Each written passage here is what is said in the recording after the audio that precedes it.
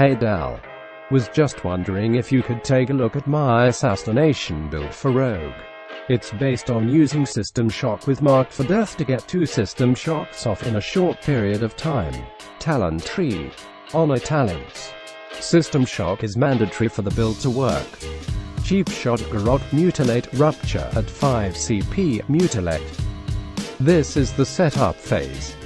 Now, proceed to Vendetta, Vanished Kingsbane, Toxic Blade, Mutilate, Envenom, Mark for Death, Envenom. This is the bursting phase, when the last Envenom hits, the target should drop dead, or succumb to poison. If however, the target survives this burst, mutilate up to 5 CP to refresh Rupture and Garrote again. Continue to spam Envenoms as often as possible until the target drops. Are you streaming, bro, Tata? Not ATM. What up, dudes? What up, peeps? Anyway, today we're gonna be taking a look at a build sent by a viewer, and the setup is very interesting. Night Stalker, and he wanted me to run it Intent to Kill. I won't run it because I feel like I get more mobility with maneuverability. So for that case, I will just um, I will have to omit one of the talents. Uh, I should stay to the talent and you know stay to the clear uh, theme for it. But there's a lot to practice here, a lot to line up for this burst. The main burst is the Vendetta, Vanished, Kingsbane, Toxic, Mark for Death, bam, bam, bam. That's gonna be weird. Oh, fuck, we don't have Mark for Death. Shit. Well, we'll have to give this a try without Mark for Death, and we'll see. If this doesn't go well without Mark for Death, well then we'll go without Mark for Death. But I'll probably run this again and try to show you guys, after practicing this a bit, some damage Mark for that. I basically just ran into that trap. What the fuck am I doing? Okay, hold on. Hold on. Bam. Okay, that was, I mean, a lot of damage, I guess. Blind. What? It broke. Really? Oh, no. Fucking mages, man. I hate them. Yeah, gonna get glacial and everything. Fuck you. Fuck you, mage. Haha, I'm gonna ice block and then use my basic spells to slow you to fucking shit. Thanks, Blizzard. Good fucking game. Let's slow this fucker to fucking literally crawling space, crawling speed. Why? I don't know, because I'm a mage. Fuck you. That's why.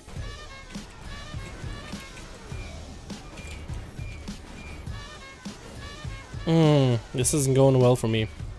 Yep, not going well for us at all.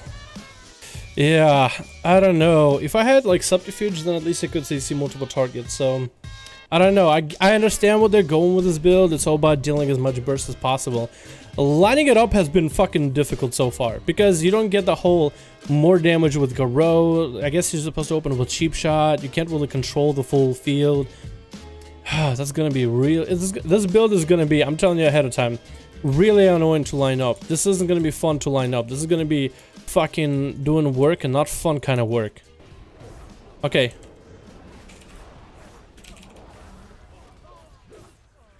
That was one lineup. That was one lineup. That wasn't every single lineup. That was just one of them. And it kind of worked out, but it was so fucking difficult to get together. Nope. Oh my god. Bro, you either see this guy or fucking kill him. One or the other enhancement. One or the other enhancement. Is this guy gonna fall off? That'd be fucking hilarious.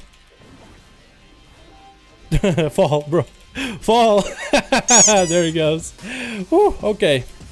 Okay, maybe I could see this. The setup though is fucking ridiculous. Why would you why would you want to have to line up two Mark for Death back to back? You already play an Assassination and you already have the specialization which has a Garrote to line up, you already have Rupture to line up. So your opener you can omit a like you're, you're to have a short stun opener. That's basically what you're playing with. That's what you're choosing to play with when you play the specialization.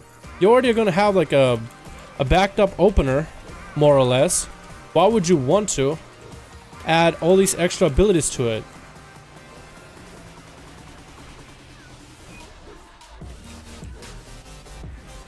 Oh my god i'm dead. 100% dead. Execute. Yep executing and I'm fucking dead. Like if I if in that situation I had subterfuge, I could stun them both. I could have stunned them both. Got rooted. you gonna walk him off? There he is. Bye. Have a great time. Except the enemy captain us twice, so that's not gonna work out that well. Oh shit. Maybe, maybe, maybe. Come on, get over here. I didn't have Vanish, so I couldn't get to him. I thought I had Vanish. Fuck, this is retarded. But this is why Vanish should- why would you want Vanish to be an offensive cooldown? It just doesn't line up. You're looking at uh, under 2 minute cooldown abilities that can line up with each other from time to time. Normally this is where I would have Vanish so I can use it to run the fuck away, but I guess not here. Not today. Oh my god, that was such a bad lineup. It just, ah, it seems so awkward. I think I can do this. Maybe we can line up on one person, because, holy fuck, this is gonna be difficult if my team sort of Papinski. This is gonna be difficult if my team is um, how you say nub. So yeah, if my team isn't really all that great, then I need them to be a reason for enemies to focus on them instead of me, so I can kind of do my thing in the background as a rogue. Because I feel like with this setup, if the enemy team interrupts any part of my plan, I kind of lose a lot of momentum. So then this becomes not worth playing at all. Whoa, did they change it so you can put on toys again? Dude, they enabled toys again. Oh, fuck yeah, I'm gonna be a picky old dwarf. Gonna be a picky old green-eyed bitty old dwarf. They changed the toys again, gang. Like, what the fuck? They disabled toys at one point. Dude, that looks so fucking cool. I like his mug. I actually had that helm, or I wanted, I either had that helm or I wanted it on my other priest. Fuck yeah, let's go, fam. Let's go. Gonna stop him right there. Can't go nowhere. Oh, oh my god, that Fury Warrior made it through. What a psycho. His name is Psycho. That's so cool. Okay, this guy is not gonna be the target. We cannot kill him. We can kill him like that, but not with the massive burst that we were kind of setting up for. Uh, I kind of want to go where their enemy team is at, because I need to go and get that kill. Okay, well, we're gonna line it up on this guy then. How about it? Bam! Oh no! Come over here! Ha! Nope, didn't take the full damage though.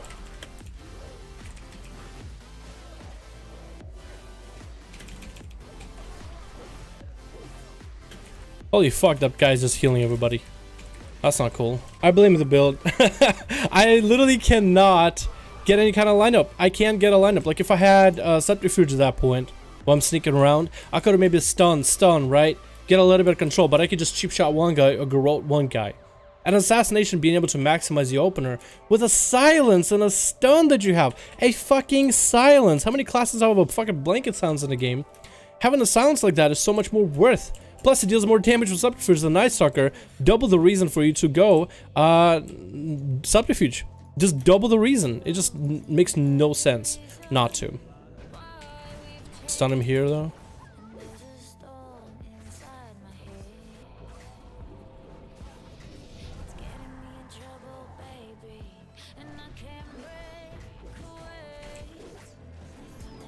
Hmm, just getting trapped all day. Okay, well, I have my burst set up. Uh, I just need to have the freedom to deal the damage needed in order to make this shit happen, please. Oh my god, seriously? Take, take that MC off right now. Nope. Oh my god. That's what I was saying! A fucking MC took my... Whatever CC... Whatever the CC was just now, just took off all of my dots. Just like that. There's no point. Your dots just fall off and... This is the Death Star! The Death Star effect is real! It just happened in front of my eyes. Any piece, any piece of my, any piece of my big plan, even a fucking cleanse that cleanses my poisons off, literally kills my whole plan. My envenoms become fucking useless. Look at this. Bam. Fucking hand of freedom. Can't do anything. Literally can't do shit against this guy now. Ah, get over here. Well, I hit him twice. He didn't die. I hit him twice. But it did it make a difference? Nope. I hit him fucking twice with that shit. Did it die? Nope. Did it matter? Nope. Not really. Whew. I'm fucking dead. I'm fucking dead, boys. Yep, fucking dead.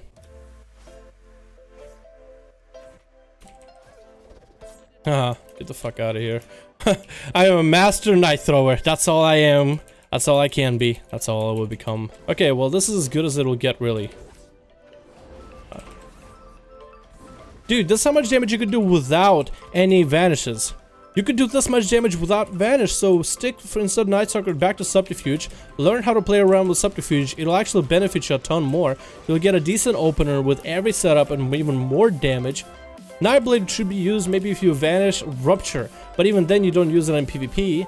Alright, this is the most amount of damage I'll be able to do, unless I just get polyed all day. That's fine too. That's fine. That's okay. I'm just gonna Vanish this. Artifact weapon, bam, bam, Bam! That's the old. That's the first time today that I've at all in a whole fucking day that I was able to actually get that style of uh, damage built up together. That is the first time I was able to actually pull it off because goddamn the setup is insane for this. The setup, not the damage, but the setup, the actual abilities you use back to back is fucking nuts. Is actually fucking nuts. Fucking get it back over here, you fucking ah, ha! Hit you with that. Yeah, now I'm not playing by the rules anymore. I'm not playing by a build that's designed by another viewer. I'm playing my own fucking way. I'm not gonna vanish and him artifact weapon. Fuck you. I instead I'm just going to go back to subterfuge and deal more damage. Okay. As you can tell by my frustration from those BGs, I did not completely enjoy the build. Now there's a couple reasons behind it, and before I go on, I want to say this. This build didn't feel good to play. Dalaran, you're just not used to the rotation. You're not used to the burst rotation. You'll get used to it eventually. What do you mean it doesn't feel good to play? I've been playing Rogue long enough to go by the feel of things at this point.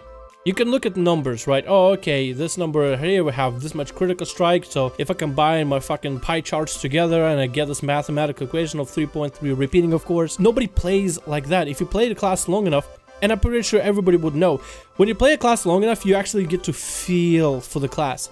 If something doesn't feel right, or something feels off, or doesn't feel quite powerful, like let's say you're trying a one build in PvE, like raiding, you're not dealing quite enough damage. Like you can, you don't even need to have Skada available just to see that you're doing less damage. You know something is off. You know something's wrong. So it's kind of one of those experiences. So I'm going to talk on base of that, how I felt playing the spec it didn't feel good to play. It didn't feel wholesome. It didn't feel particularly good. It's basically taken a build that's already existing and a playstyle already exists for assassination, but you're trying to almost force some PvE aspects to it. In PvP, the reason uh, Subterfuge feels good is because you can get three stuns back to back to back, you can get three Garrotes back to back, it's a lot more CC, and your openers matter. Your openers also allow your Garrote to deal more damage, and when you get an opener with a Garrote on a healer, and then you get your full lineup of damage, that Garrote actually makes the damage feel so much better. Night Stalker is alright. Reason Garrote feels good in PvP is because just one and done. With Night Stalker, you have to build it up, vanish Garrote. For a boss, it actually feels powerful because we don't have all the different reductions for damage. For PvP, this feels weird. And to put Night Stalker as an offensive ability, basically making Vanish an offensive ability for our already specialization that doesn't have as much mobility as the other two, and has Crimson Vial as a defensive capability to counteract the fact that you just don't have enough of mobility to stay defensive for yourself, basically takes away Vanish as an, an ability. It takes away Vanish as an ability. Because you can use Vanish to triple cheap shot a team. Wow, Assassination got a lot of utility all of a sudden. Triple, triple uh, Garrote, a full team of casters. Wow, you locked everybody out. Nobody can play, and now you're spreading damage and Night Stalker to make Vanish an offensive ability. Now you have a 2 minute cooldown. Another thing I said earlier is the 2 minute cooldown for Vanish doesn't really line up well with Vendetta, uh, Kingsbane, or Toxic Blade. Assassination has fairly short cooldowns because this specialization doesn't really have much more to it. With Assassination, you're pretty straightforward. You deal decent damage and you have some basic CC, but you can't just do some kind of a crazy setup. You kind of have to use like you, even your kidneys have to be used offensively because of internal bleeding per and weak kind of combo. You are straightforward just to train a target for the most part. Maybe cleave two targets and then swap your targets from time to time. But that also comes with the setup, so you already invest in time setting it up. And every time you have time setting it up, you really feel a lot slower. And when you feel a lot slower, then it makes it that much easier to get you killed because you have a long way to set up compared to somebody who can just chuck a Chaos Bolt at you out of literally nowhere with no setup but their own personal cooldowns. System Shock itself is not that bad. Um, I don't use it particularly that often, but it can work. I don't blame anybody for using it. Creeping Venom ends up being a little bit better for single target. System Shock works against like Paladins, so that's the time I would use System Shock. But in this row, just even Flying Daggers and BGs would work more wonders. They have Spirit Pressure capability, you have AoE capability, and when you have Vanish to be able to triple cheap shot enemy while still applying pressure with your Fan of Knives and dotting everybody all over the place with Nightblade, uh, with Ruptures, You have such more of a wholesome specialization. Literally, so much more of a wholesome spec. Another thing you also included is intent to kill. I don't know why anyone thinks this ability is good. Basically makes your shadow step useless. You have maneuverability which makes your sprint a lot more viable against casters against people that slow you down so you can get away or get in the situation get around and catch up allowing you to use your shadow step a little more carefully for specialization doesn't have that much mobility intent to kill reduces it by 66 percent so it means you can keep shadow stepping on the target of your choosing but in most cases, when you're just shadow, that, constricting shadow step viability of extra mobility to your vendetta seems just like such a bad idea. Such a bad idea. I would rather take maneuverability so I can have a lot more mobility at a 47 second cooldown, which is a lot lower than Vendetta. And it's a Shadow Step. Uh, yes, it can maybe work against a melee when you use a Shadow Step and you keep using uh, using Vendetta and Shadow Step to get the dodge chance. But that's really as far as it would go. Otherwise, I'd say maneuverability or Shiv. Shiv at least is a straight up slow. Slows the enemy by 70% for 4 seconds. Every 10 seconds, no energy required. Cannot be parried, blocked, or dodged. It's always going to stick. Like, those two just seem so much more value than intent to kill. This seems like a bad talent, and I hope Blizzard changes it out eventually. Maybe there's like one situation where intent to kill would work. Maybe get some crazy ass, mobile ass monk, and you know that you can kill him without Vendetta.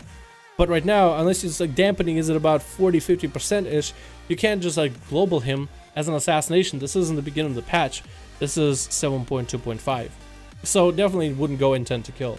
The rest of your talents, I mean, they seem pretty straightforward. I just don't know why Night Stalker over Subterfuge. You can still take Toxic Blade if you wish, but I don't really know. Anyway, that has been it for me for the build. Greg, thank you for the build, dude. If you guys get builds yourselves, feel free to voice them in the comments below and I'll give them a try. I will rate them and I will try them out hardest. I'll tell you what I like, what I don't like about it, and there's a viability to it. But for the current build, I feel like with some adjustments could be more viable because it just seems like you're kind of gimping yourself right now. Anyway, you guys take it easy.